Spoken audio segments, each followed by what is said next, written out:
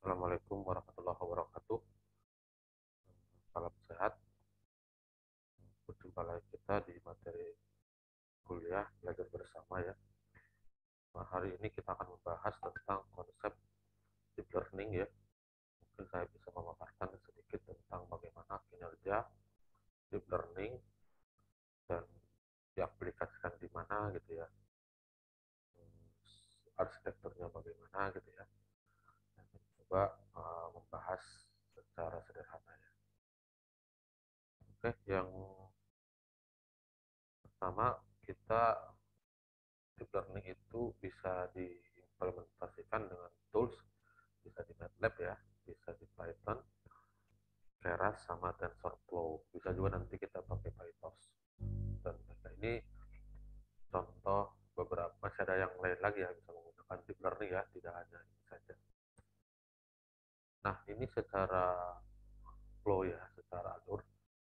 Nah, proses machine learning dan deep learning itu sebenarnya sama ya, prosesnya dari awal sampai akhir gitu ya. Nanti yang membedakan itu adalah Anda bisa lihat di sini hanya di posisi di learning algorithmnya. Jadi di sini yang membedakan. Kalau machine learning dia menggunakan biasanya kalau nggak tidak eh, biasanya untuk permasalahan bisa klasifikasi gitu ya. Terus bisa clustering gitu ya. Bisa juga as apa uh, prediksi gitu ya. Tapi kalau yang namanya deep learning itu biasanya itu hanya untuk klasifikasi gitu. Sama prediksi bisa ya ada yang namanya nanti satu dimensi menggunakan CNN ya Nah, algoritmanya sangat banyak ya. Untuk machine learning itu ada semacam SPM gitu ya. Ada random forest ya atau disingkat dengan RF ya. Ada C45 gitu ya. C45 gitu ya. Ya. Ada C5 dan lain-lain masih banyak. Kalau ini algoritmanya biasanya yang terkenal itu biasanya CNN gitu ya. CNN ada LSTM gitu ya. LSTM gitu ya. Nah seperti itu. Jadi yang membedakan tuh hanya di posisi algoritmanya. Tapi mulai dari awal sini ya ini tahap pertama misalnya kita mendapatkan uh, datanya itu data yang tersedia ini ya ada bentuk raw data, data mentahnya ya. Ini adalah tahap data yang terkumpul yang namanya raw data gitu ya. Nah, setelah raw data kita dapatkan baik berbentuk uh, data data terstruktur maupun tidak terstruktur, baru kita akan proses datanya menggunakan proses yang namanya pre-processing Pre-processing itu bisa kita menggunakan manual, bisa juga kita menggunakan tools ya, untuk mempercepat gitu ya. Salah satu gunanya adalah di pre-processing itu adalah mengubah data kita yang tidak terstruktur menjadi terstruktur.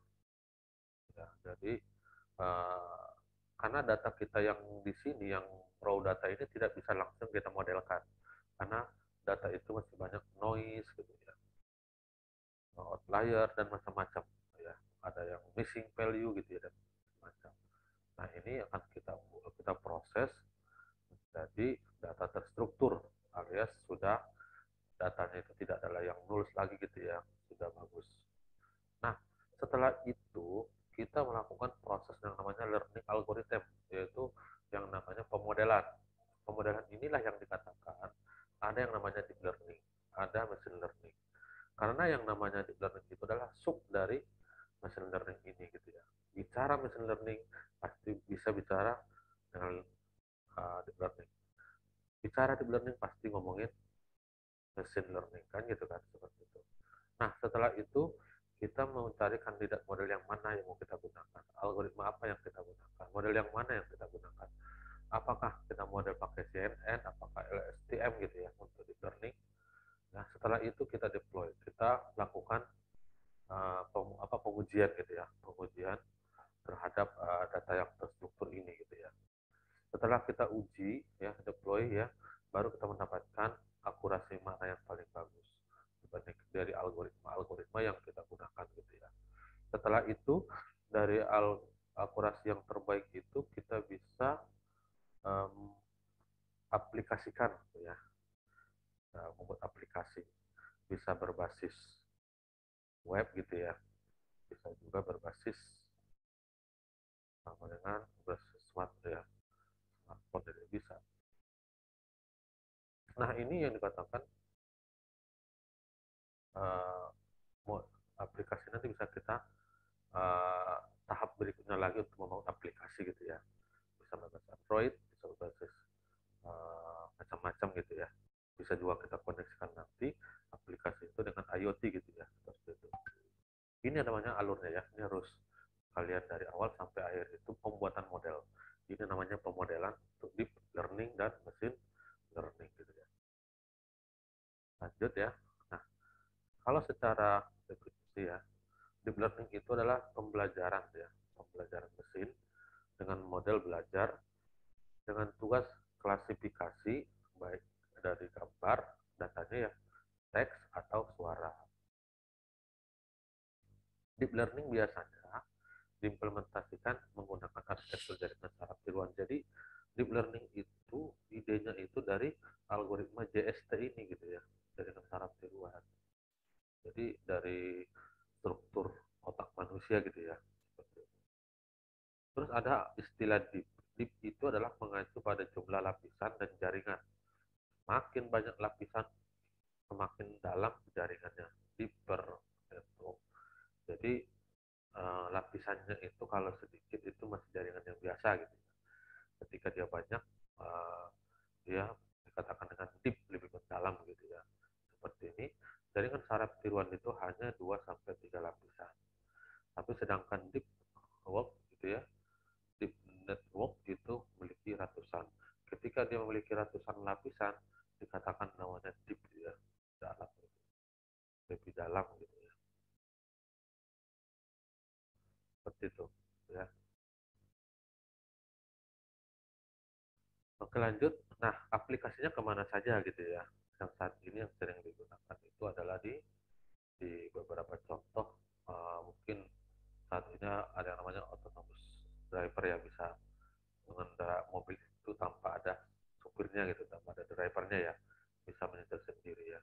Dan dia bisa mendeteksi dia akan melambat dan mendekati penyeberangan kaki. Ini sudah disambungkan dengan apa namanya IoT ya, dengan sensor-sensor yang ada ya. Dan bisa disambungkan dengan IoT dan bisa kita kita kendalikan dari jarak jauh bisa. Terus ada ATM menolak uang palsu ini juga salah satu contoh aplikasi deep learning ya berbasis dengan gambar gitu ya. Gitu. Terus aplikasi smartphone memberikan terjemahan instan sound kita jalan berbahasa asing. Nah, bisa juga kita untuk translate dalam bahasa ya, itu bisa juga diimplementasikan deep learning itu ya. Deep learning sangat cocok untuk aplikasi identifikasi seperti pengenalan wajah. Nah, kita bisa mengenal wajah, misalnya kita mendeteksi wajah ini siapa, ini siapa bisa CNA algoritma deep learning ini ya. Terus bisa menerjemahkan teks ya, Nah, terus bisa juga pengenalan suara. Ini suara siapa? Makanya kalau untuk suara ini sering malah digunakan untuk ada udah yang mengatakan namanya security ya, keamanan. Security ya, security. Security ya, security. Keamanan contohnya kalau kita punya TV yang sekarang ini yang smartphone, yang smart TV, kalau kita mau nyalain nggak perlu pakai remote, bisa pakai suara yang pemiliknya gitu ya Terus ada sistem pengemudi tingkat lanjut. Nah, tadi uh, mobil tanpa driver gitu ya. Termasuk klasifikasi jalur dan pengenalan rambu-rambu lalu lintas. Ini bisa diimplementasikan menggunakan deep learning gitu ya. Oke, lanjut, uh, kenapa sih algoritma deep learning itu terdepan gitu ya? Di sini hanya satu kata kunci, akurasinya lebih baik dibandingkan yang lain gitu ya kalau saya bilang begitu lebih baik lebih tinggi lebih baik.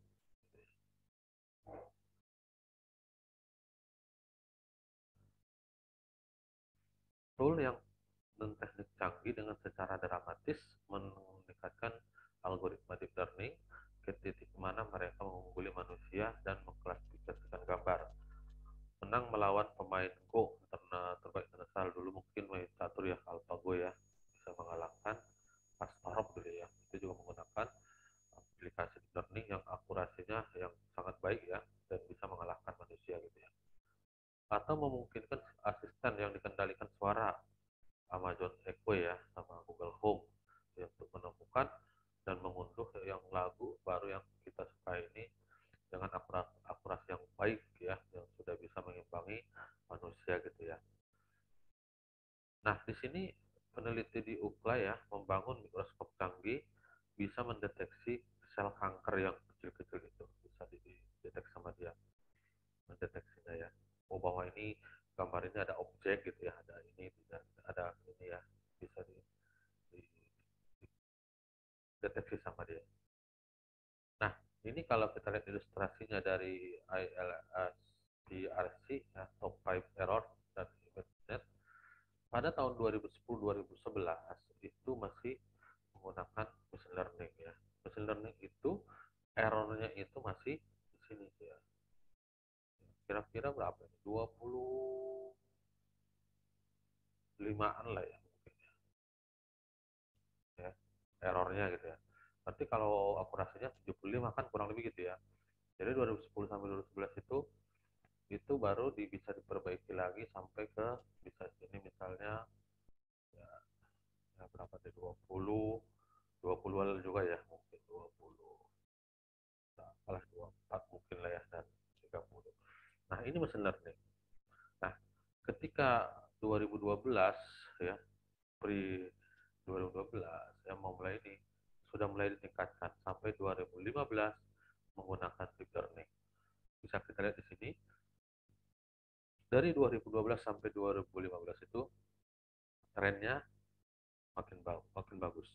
Errornya makin sedikit. Anggap aja ini 5 lah, anggaplah. Berarti tahun 2015 algoritma deep learning sudah sudah uh, berhasil uh, dengan error 5 dengan akurasi akurasi 95% keberhasilannya gitu ya. Makanya akurasinya itu lebih baik dibandingkan model lain. Itulah yang membuat algoritma apa deep learning ini semakin di, di depan gitu ya, yang saat ini gitu. Nah, untuk pengenalan objek, warna, suara sekarang ini berlomba-lomba ke deep learning ya untuk belajar deep learning. Nah ini mungkin ilustrasinya kenapa deep learning itu yang menjadi terdepan saat ini. Lanjut ya.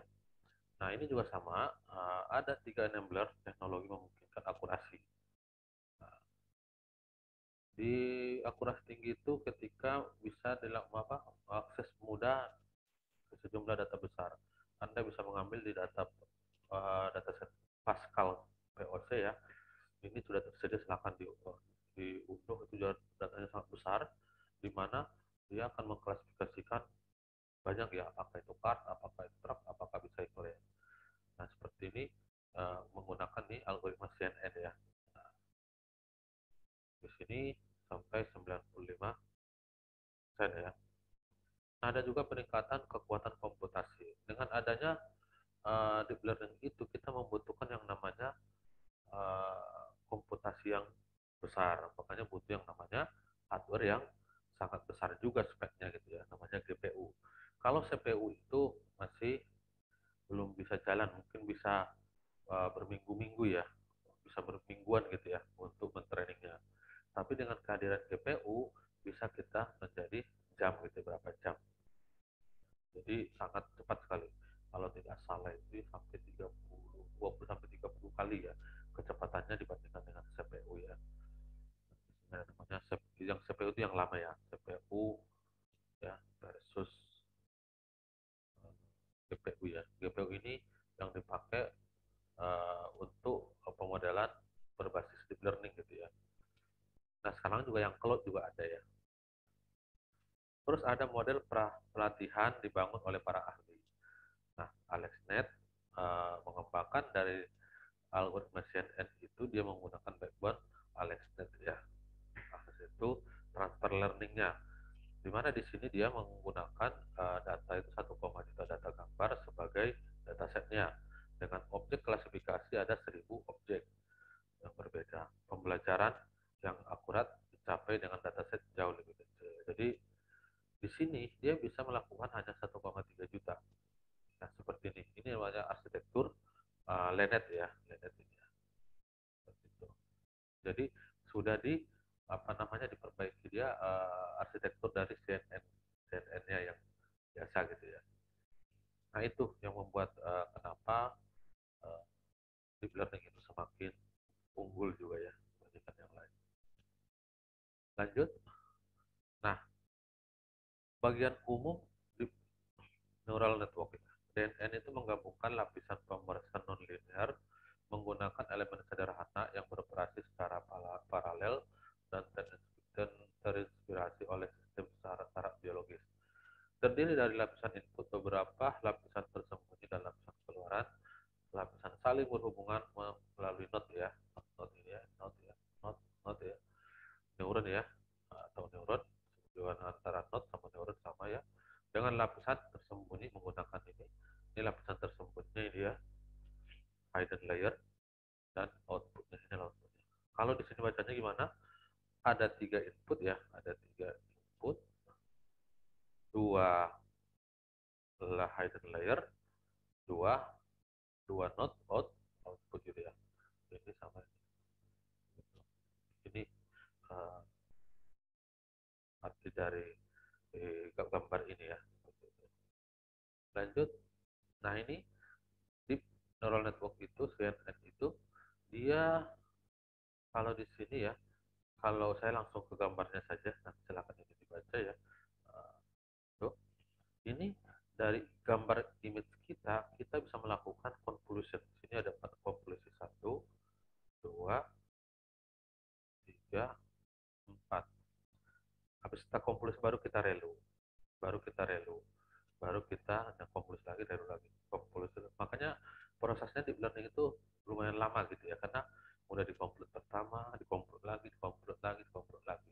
Habis itu kita baru full connected baru kita klasifikasikan apakah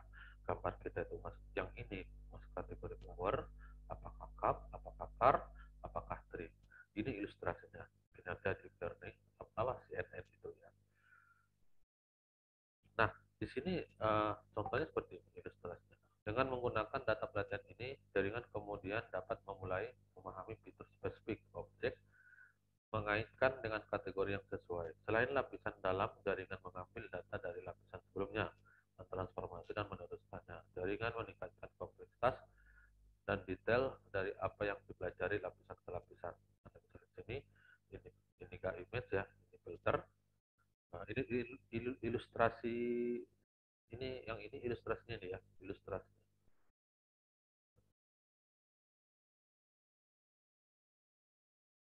Ya.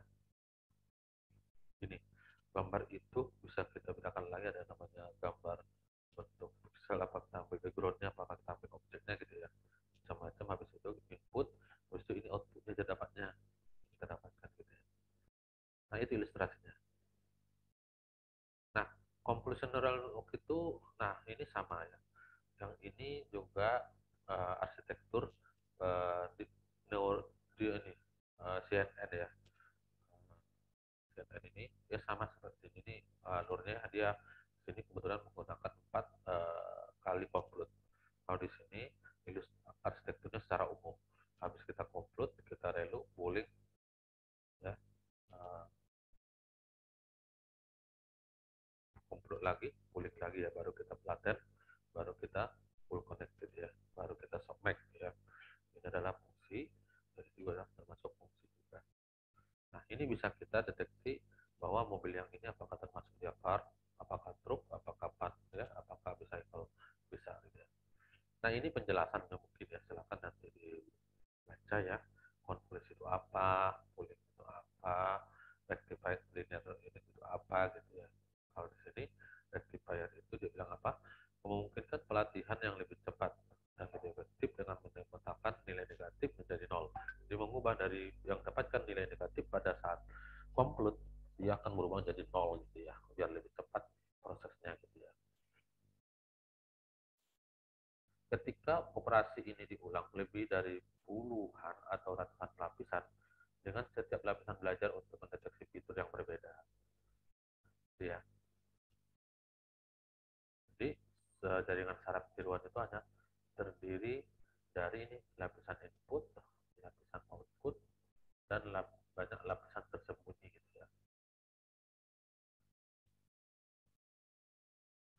Terus lanjut lagi ya, yang ini sama juga ini lapisan klasifikasinya itu bisa di sini lihat uh, ini penjelasan dari ini ya yang sekarang yang ini.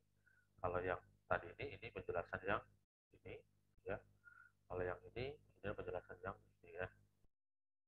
Setelah dideteksi fitur arsitektur CNN bergeser ke klasifikasi.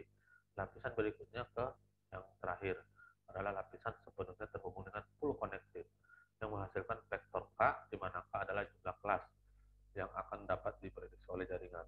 Vektor ini berisi probabilitas untuk setiap kelas dari beberapa apa pun yang diklasifikasikan. Lapisan terakhir dari arsitektur CNN menggunakan fungsi softmax. Fungsinya softmax gitu ya. Ini fungsi ya. Fungsi. Ya.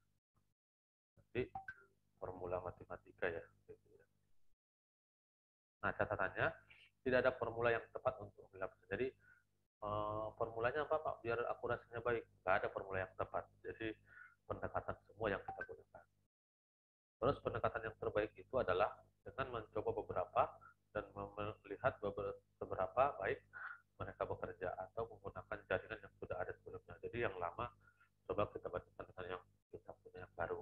Itu mungkin. Tadi nggak ada formula yang yang secara pasti bahwa ketika menggunakan mau training lapisannya berapa gitu nggak ada. Ya. Oke, apa perbedaan dengan deep learning sama machine learning ya? Mungkin di sini deep learning itu uh, mengekstrak fitur yang dilakukan secara manual. Kalau deep learning itu otomatis gitu ya, ya manual sama otomatis. Nah ini yang tradisional, ini yang deep learning. Anda bisa lihat secara ilustratif. Dan DL sering sering membutuhkan ribuan atau jutaan gambar hasil terbaik. Untuk DL uh, intensif uh, secara komputasi membutuhkan GPU. Jadi dia GPU itu membutuhkan tadi yang saya bilang tadi sebelumnya itu spek yang lebih besar gitu ya. Nah kalau head to head bisa anda lihat sini apa perbedaannya ya. Nah di sini kalau dibentuk datanya kecil ya, itu besar, lebih cepat ya melatih modelnya. Ini intensif komputasi. Perlu melakukan berbagai fitur klasifikasi untuk ini coba-coba boleh banyak. Kalau ini udah otomatis untuk fiturnya ya. Akurasinya datar, tidak terlalu tinggi, tentunya gitu ya. Kalau ini akurasi tidak terbatas dalam artian bisa langsung bagus akurasinya. Gitu ya. Oke lanjut, uh, memulai dengan deep learning. Kalau Anda mau mencoba dengan deep learning, Anda boleh uh, menggunakan AlexNet ya, sudah ada pretrainnya. Anda lihat di GitHub sudah ada codingannya. Coba Anda ambil image ya. Image juga sangat banyak ya. Coba Anda tadi yang